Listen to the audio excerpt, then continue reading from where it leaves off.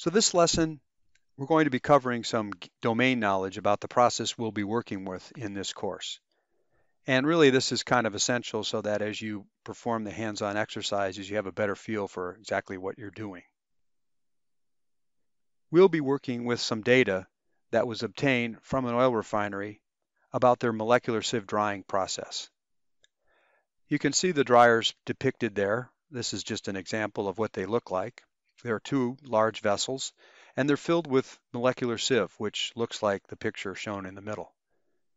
Molecular sieve can be used for various purposes, but in this case, we'll be removing trace amounts of moisture from a liquid hydrocarbon feed that will be eventually mixed with some acid further on downstream. And we want to make sure that all the moisture is taken out of that material because moisture and acid are a bad combination for metallurgy. A lot of corrosion can occur. So it's very important that we remove all of the moisture from this stream. Below, you see a microscopic view of, of how things work. The molecular sieve has very tiny pores, and the water molecules are adsorbed into the molecular sieve, and the hydrocarbon molecules aren't. So that's how the water is removed.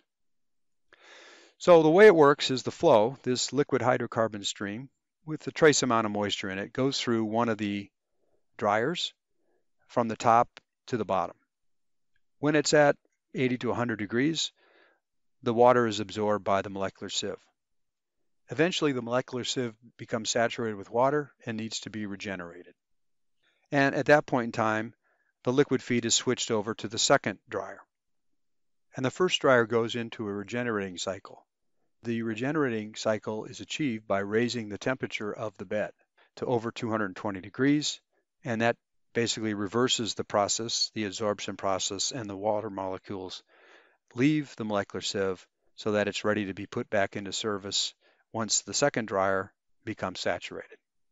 One other important factor is the age of the molecular sieve drying bed. And the age of the sieve is not really determined by time, it's determined by the volume of feed it processes over time.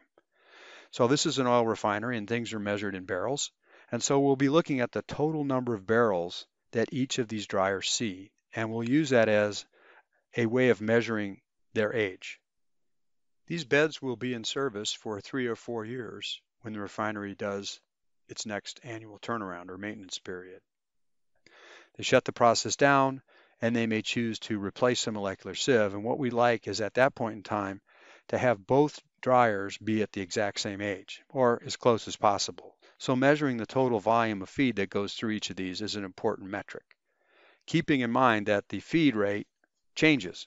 So this process can have a variability in its in the amount of barrels that go through it. And so we'll have to accommodate for that too in our calculation.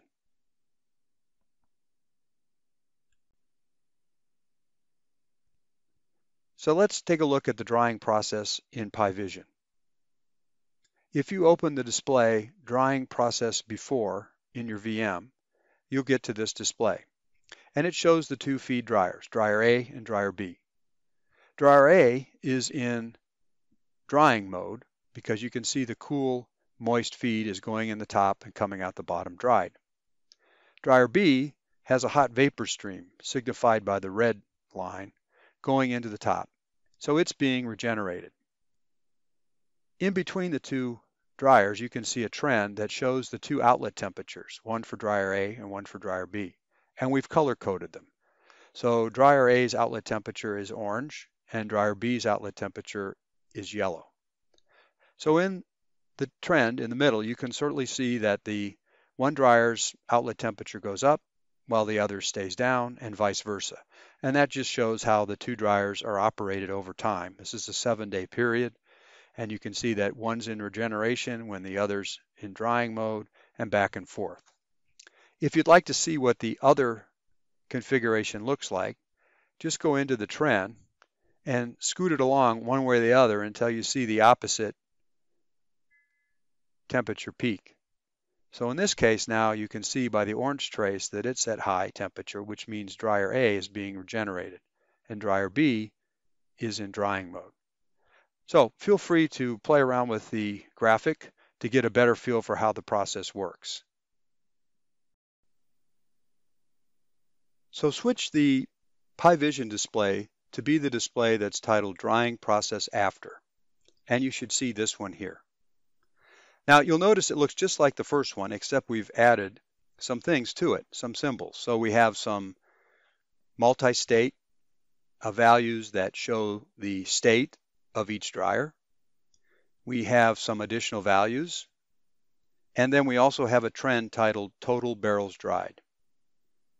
Now, when we talked about the age of the molecular sieve drying beds, we mentioned that that's really measured by their total lifetime barrels. In other words, a continuous aggregation of the number of barrels of feed that actually goes through each dryer. And that's what's shown here. So let's take a closer look. So you can see that we have one trace for each dryer and the trace increases when one increases, the other doesn't. And that's because only one dryer is in a drying state at a time. So when the dryer's in a drying state, the barrels get accumulated and then they stop when it's in a regenerating state.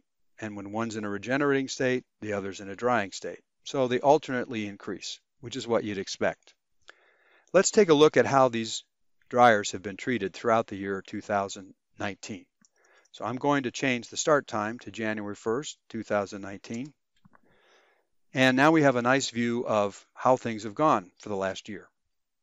And you can see that we've done a pretty good job. There is a period of time throughout April and May when they've deviated quite a bit, which isn't really what we're after. Remember that these dryers will be in service for a number of years, so we still got some time to go here. And we really want to make sure that after three or four years, we can maintain this nice consistency. Actually make sure it's consistent the whole way through. So we have an idea for improvement. And that idea is going to be to be able to predict how long it will take for the next dryer regeneration cycle. And if we can make that prediction, what we can do is develop a notification rule that will send a note to the operator reminding them when it's time to switch dryers. And hopefully by making that reminder, we can make the regeneration schedule more consistent and help maintain a good curve here and equal treatment of these beds. So that's going to be our objective for the class. So let's talk about some of the other values we have here. First, you see the multi-stating. So under dryer A and dryer B, you now see there's a state that shows that dryer A is in a drying mode and that dryer B is actually going through some regeneration. So before we didn't have any of that because there was no digital state tag that we could rely on to tell us that. So we're going to have to calculate that based on the temperature profiles you see in the outlet temperature trend. So that'll be the first thing. And that'll define the state of the dryer at any point in time. Next, what we're going to do is we're going to calculate the drying cycle's barrels. So what that means is we want to know how many barrels are processed through a dryer during any given drying cycle. And then we're going to reset it. So it's going to have a different shape than the ever increasing curve that we see with the to total barrels cal dried calculation. So let's take a look at that briefly. So I'm going to go ahead and select a couple of these vari variables. So I'll hold the control key down to select two things. And I'll go up here to the ad hoc trend and take a look. So you can see that trace in blue. So it's a sawtooth, sawtooth wave. So it increases and then once the dryer goes into regeneration, it gets reset to zero and then it goes up again for the next drying cycle and then it gets reset to zero when we go into regeneration and so forth throughout the year. And so we'll know how many barrels actually went through the dryer during its drying cycle. The last thing we're going to do is based on those barrels, we're going to predict how long we anticipate it will take for the next regeneration cycle.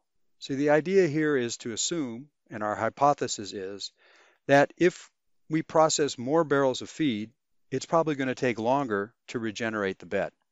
So if we can manage and monitor how much barrel, how many barrels actually go through a particular dryer during the time it's drying, we can basically estimate how long it's going to take for the next regeneration cycle and then send a notification when that uh, duration reaches a certain limit. Remember, the feed rates to these units varies quite a bit. Let's take a look.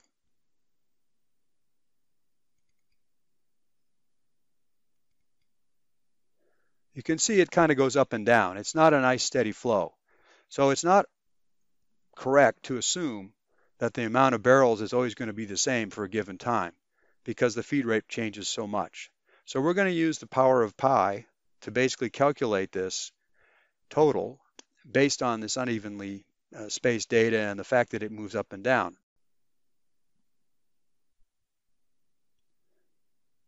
So this wraps up this step. The next lesson, we'll take a look at the underlying AF um, asset framework model that we're using to support our entire course.